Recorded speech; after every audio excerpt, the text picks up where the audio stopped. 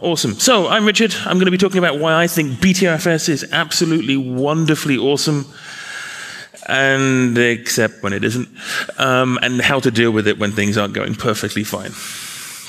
Um, so yeah, I, I am a, a, shameless BTRFS fanboy. Um, you know, you've just heard about all the wonderful things we're doing with transactional updates inside all SUSE distributions, so OpenSUSE, SLE, CASP, everything. Um, you know, we're using BTRFS as the default root file system, uh, mainly for the snapshot and the rollback feature. Sorry, there we go. And there are also features um, like BTRFS send and receive, which I don't want to go into too much detail because this is meant to be a lightning talk. But BTRFS send and receive is one of those awesome features that's just lurking away there in the code base that nobody really pays enough attention to. The, the kind of short answer is um, you can basically pipe out the entire contents of your data to you know to standard output, and then you can receive all of that and pipe it somewhere else. Um, but you can do that on a snapshot level as well. So you can basically do rsync on steroids with your actual block data, transmitting it you know across your network and or whatever, comfortably building, um, you know, things like your own sort of Apple time machine style arrangement, or with just, you know, a couple of lines of scripting, and it all just works wonderfully. So, the the upstream Wikipedia, the upstream wiki article on this covers that, gives lots of examples of scripts and how to use it. It's amazing. And especially recently, there's been an awful lot of work in BTRFS for compression. Um, and that's now sort of a fully standardized, fully supported feature in BTRFS. Um, you can you know, just turn it on with a single you know, mount option. You can shove it in your FS tab. Um, but if you have an existing BTRFS system, it's not going to retroactively compress everything that you have. So if you've got an old installation and it's all uncompressed, um, you know, just mounting it compression will only compress the new files you're putting on the system. Um, but to re retroactively compress anything you want, kind of strangely, oh, yeah, kind of strangely, um, yeah, you can use the defrag command, and that will compress while it's defragging. So two birds in one stone, everything goes a little bit faster. There's three different layers, or three different uh, formats for, for uh, methods for compressing. You have good old-fashioned zlib, which, you know, it's incredibly slow, but it's also an incredibly high ratio of compression. So, you know, you get an awful lot of storage back for your buck with that. There is LZO, which I think is the default. I can't quite remember, to be honest. You know, which is incredibly fast, but the, the, uh, the ratio comparatively is, is, yeah, you know, less. Um, and the reason why I can't remember which one's the default is because uh, Z, uh, Z standard is the new sh shiny hotness, which is in Tumbleweed since uh, kernel 414. And actually, I think it was backported to SLE's 412 kernel as well. So I think it's also in SLE, in SLE and Leap 15. Um, it's incredibly fast, and it's also an incredibly high ratio. And in fact, the whole thing is scalable. So there's an extra tuning parameter, and you can say, I, you know, I want this compression method, and I want it, you know, value three. Um, and there's actually a uh, on the on the BTRFS wiki, there is a, a, uh, a table kind of showing from Facebook, because Facebook are using BTRFS incredibly heavily, um, of, of, their metrics where they figured out, like, for them, the sweet spot is like value three, where like they're compressing everything really, really quickly and getting a really good bang for their buck. Um, and I think that's what they've set the default value to be, because they contributed that. So yeah, so BTRFS is absolutely awesome. It's, you know, just, yeah. But it's not perfect. With any B-tree based file system, you end up with this, especially with snapshots and all this wonderful stuff, you end up with this lovely complication of you don't really necessarily know how much space you're using. Or it gets a heck of a lot harder to figure out how much space you're using you know, as your snapshots are, uh, you know, as you're making more of these snapshots and your snapshots are, you know, just containing the diffs of, of what's changed, but when you look at the snapshot, you see all of the files, not just the diffed ones. You know, there's basically no way of really calculating accurately all of the disk in use unless you go into every single snapshot and count every single file, kind of like DU does. but that means like df doesn't do that. So you run df and it's just going to look at like the current file system and say, you know, the current snapshot's this big. No idea about all those other copies you've got lurking in somewhere. Um, so yeah, it's kind of, you know, kind of like Jenga. All these different pieces of the file system are all stacked on top of each other. And DF can't figure out which is the block that the whole thing would fall apart if it pulled it out. So don't use DF on BTRFS. Or if you do use it, just expect it to be lying to you. Um, there are there are three different options in BTRFS because you know it's such an awesome file system. If you can do something right once, you can do it right three different times. Um, the, the basic one is yeah, BTRFS file system show, which is like the absolute minimum data. Like it just says, you know, you have a file system. It's this big, roughly. Um, BTRFS file system DF gives you a layout much more similar to DF with a little bit of extra information about BTRFS metadata. And BTRFS file system usage just like dumps out a huge amount of statistics. And I, I have to be honest, I don't understand what half of them mean so I don't use that one much. But know, BTRFS file system DF makes it clear when you're running low on disk space. So if you're using monitoring scripts, you're looking at that, stop counting on DF. If you're using BTRFS, use one of these three instead. Because you don't want to just keep on piling on more and more into your system to the point where, you know, it's completely overloaded and can't even fit this picture on this slide. And you can, you know, if you're not paying attention on your disk space, you know, you can run out of space. Especially on the SUSE distributions where we have Snapper installed. Um, and, and, really, quite often, it's not BTRFS's fault, thanks. It's not BTRFS's fault for running out of space. You know, I blame Snapper. But the Snapper developer, if he's here, Arvin, no, good. He'd be blaming me if he was.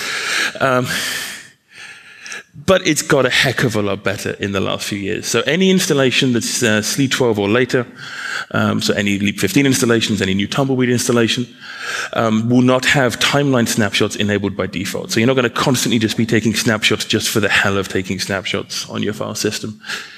Um, and so you know that number gets smaller, therefore you're carrying less diffs, therefore you're using less space. Um, and when you, even when you are using that space up, there is now space-aware cleanup, it's the default in regular installations. But if you want an old installation, anything later than sort of 2016, go have a look at Arvin's blog. He posted how to turn it on. It's one command. It's really useful.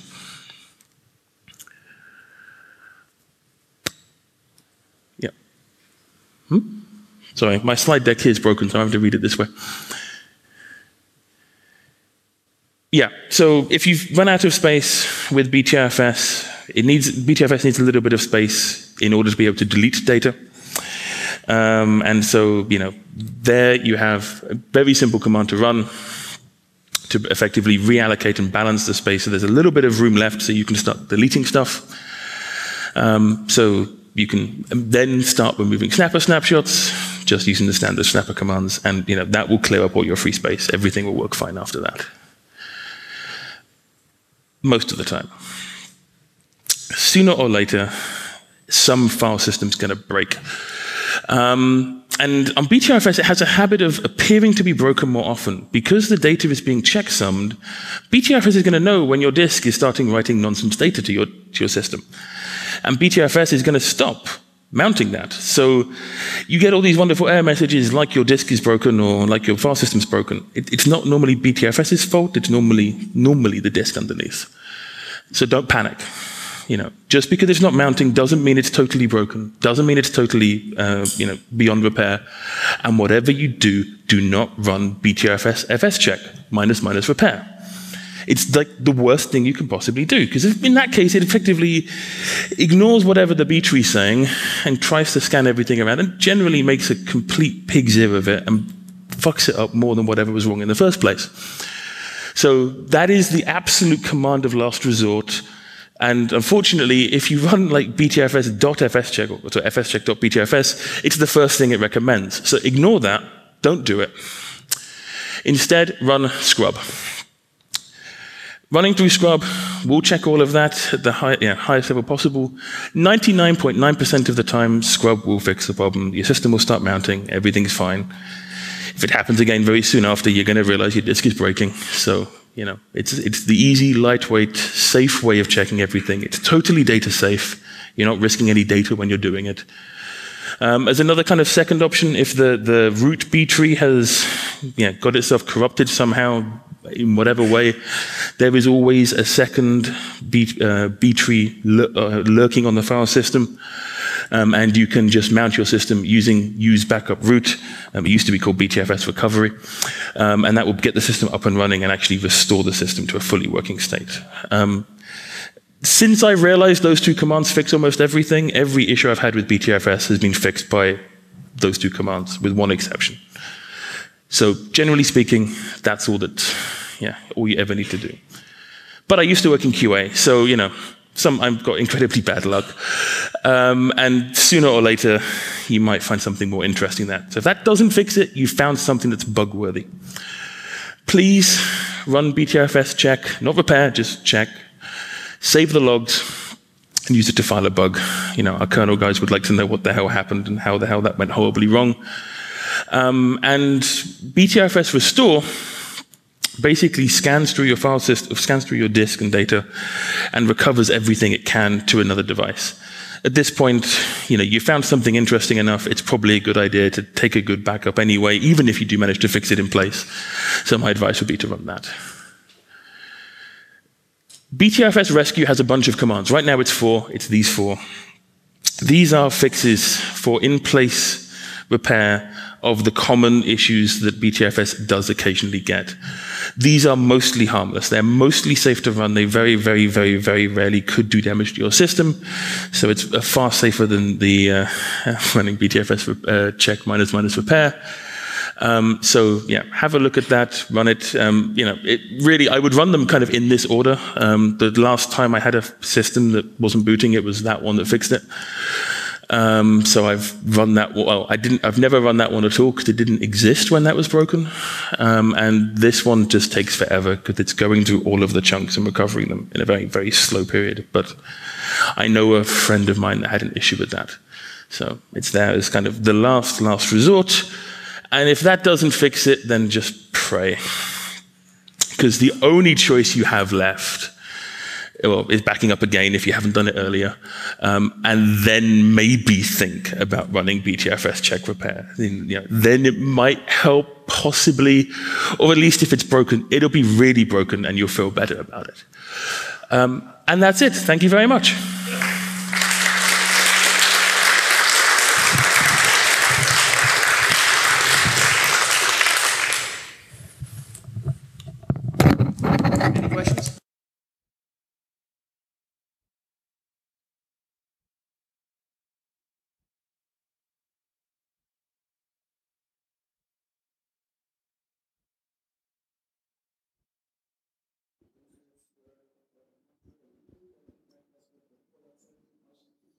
Yep.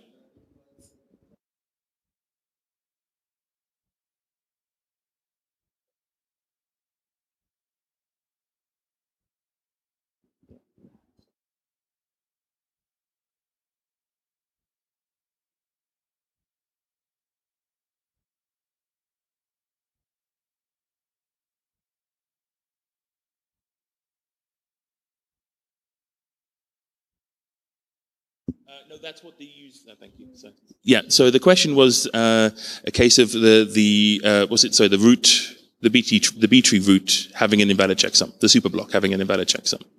So that will be fixed most of the time by the use backup root.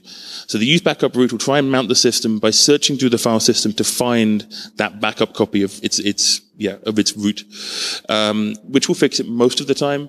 Um, one of the four B, uh, BTRFS uh, rescue commands does fix that weird edge case where the first the, the root is so broken that it can't find the reference to the second root and then it doesn't know what to do anymore.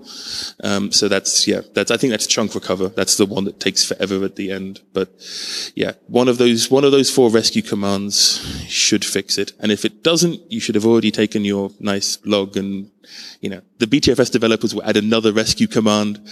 Um, you know those basically whenever there is an edge case you end up with a new BTRFS rescue command that you know they've made. You know, right now there's four. Six months ago there was three. It's not that bad. So, any other questions? Yeah.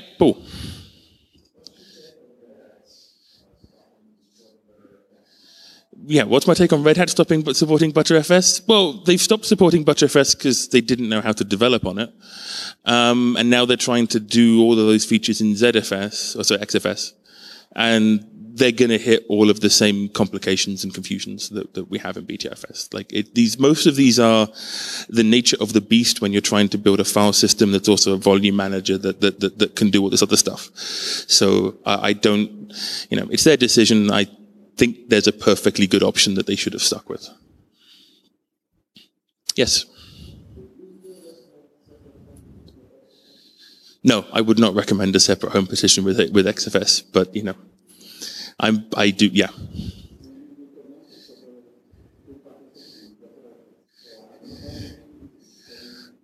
I would so yeah, I would recommend having everything in a single large root, a single large BTRFS partition using subvolumes. That's that's my way of doing it myself. I just take my big disk, I install everything on it, and if I have secondary disks, I might end up with a different file system. But generally, I'm BTRFS all of the way everywhere. Yep, Andres. Uh, with BTRFS send and receive, I haven't done one for ages. I just copy it to a different machine. that's all, that's an awesome command. It really is. Yeah, yeah. So yeah, I avoid avoid reinstallations as much as I can. Un- unfortunately, with the recent changes I made with VAR, you know, I've had to do that like once or twice. But um, yeah, because we changed the sub volume layout. But that's that's another topic. And I'm already over time. So good. Thank you very much.